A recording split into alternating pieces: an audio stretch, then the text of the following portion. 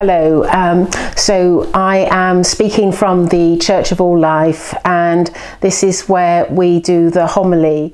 And I would like to let you know that we have um, Jesus here, but also God, and they have come together, um, which is um, very exciting to, to have them both here together. And God would like to speak first um, because he feels that he has something important to say right at the beginning of this, this sermon. He says that he has observed Gail um, throughout the time that she has been doing this work and is very proud to say that she has reached a position where she understands much about our world and much about my intentions for all of you on the earth plane.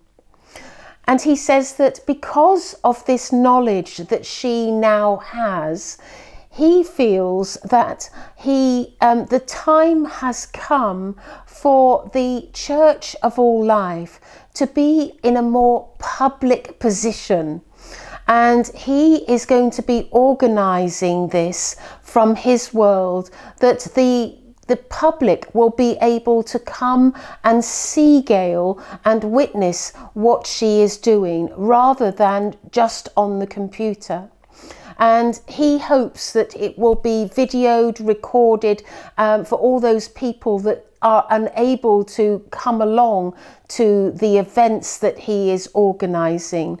But he wishes to make this announcement that this is going to be happening in the not too distant future.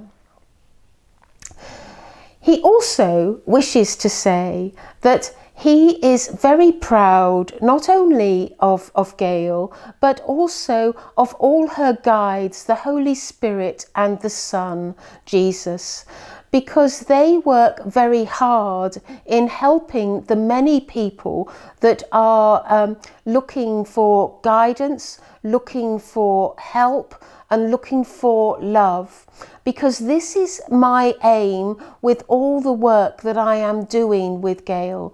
It's to give my love to all of you. And I do this through my Son and the Holy Spirit. And I feel that if I can give you love or give you guidance or give you help when you are in your hour of need, then I feel that you will come to a similar understanding that Gail is at with regards to my kingdom. But now I have important words also to, to add to my talk. And these important words are when I was a very, very young God, I had a dream. And this dream was that I would create a human race, a race that would be kind and loving to each other. And I told myself, surely this is going to take a long time because any race that is in, the, in its infancy and in the beginning will always take time to grow and mature. But I knew that this was worth it. It was worth creating all of man. And so I went about organizing, as you know, the story of Adam and Eve. And I created Adam.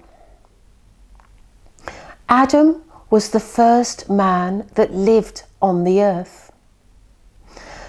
And he was very, very vocal about how he felt about his existence.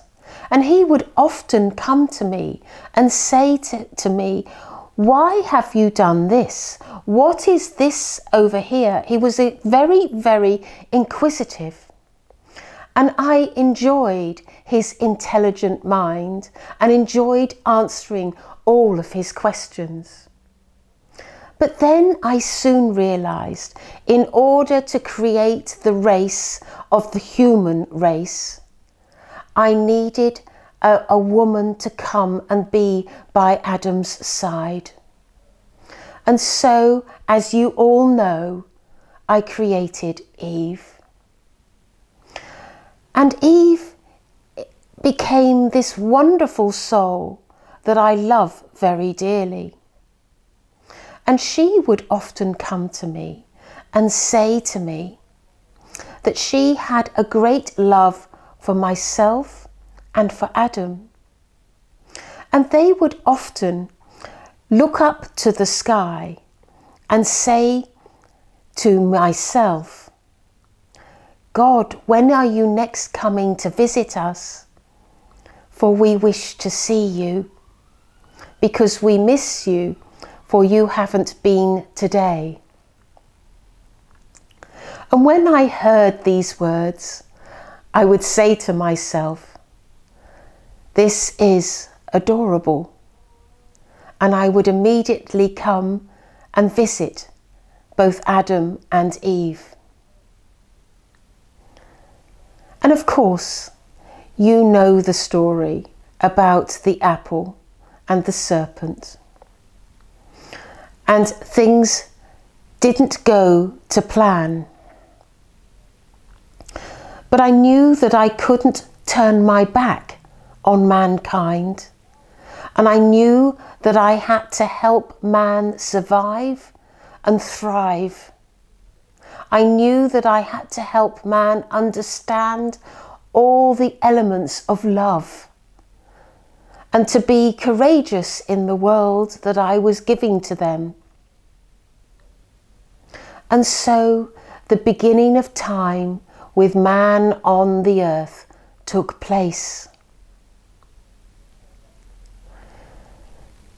Now, when I look back at this time, I am extremely proud of all that has been created. And I realise that if I had not have created man, then there would be something very, very deeply missing in my life. Because man has given me the greatest, greatest love and enjoyment. I consider some of the Holy Spirit in my world that reside in my heavenly quarters. Some of my greatest, dearest friends, and I love them greatly, all of them.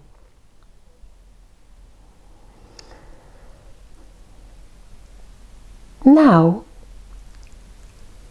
there is a new world that is about to be created. And the world that I am creating is not dissimilar to the earth that you are residing upon. It is a world that is purely for evolved souls, for those people that have learnt everything that they need to learn on earth, and they need to go to their next stage of existence. This new existence that is being prepared for man is an existence that is going to be quite unusual. When you are living on the earth, you will all know people that perhaps are not living in the light. Perhaps they are cruel or show to people their negative side of their character. But in this new existence, man will be free of that negativity and they will learn how to be giving and loving in an increased way. I believe that if man can conquer this new way of living, then there will be hope for the people who live on the earth. Once they have reached a point where they are understanding of what I am teaching them, their next role will be to go back to the earth and speak to those people about what they have learnt and what they understand, showing people this new way of being, educating people and being a shining example to all. This new way of living, it is my wish, will not only take place imminently, but it will also be taking place in a way where all of mankind will grow to this point. And I believe that once mankind has reached this point of understanding and love and compassion in the way that I desire, I believe that we will all exist in a different way. We will not have the pain and the suffering that has existed for, throughout all these centuries of time since the beginning of time when I created Adam and Eve. In fact, I believe that man will enjoy life, will be happy and feel love all around them. There will not be the negativity. There will only be good and only be light. And this is the man that I wished to create all those years ago.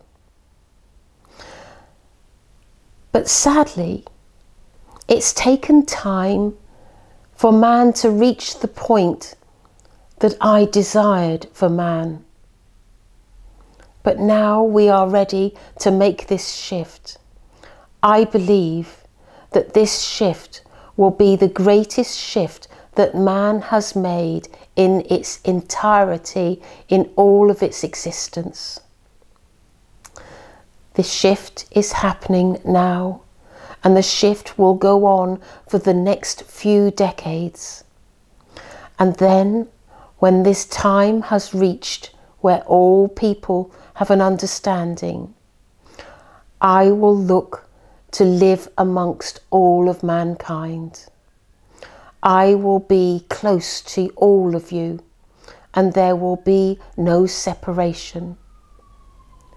For the worlds will merge as one, and we will live together in harmony and love.